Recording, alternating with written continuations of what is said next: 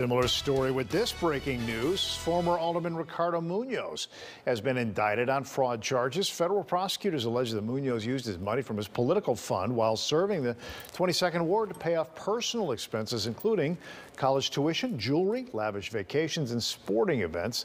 The misuse of funds was first made public two years ago. Munoz faces 15 counts now of wire fraud and that carries a maximum sentence of 20 years each. He also faces a money laundering charge punishable up to 10 years in prison.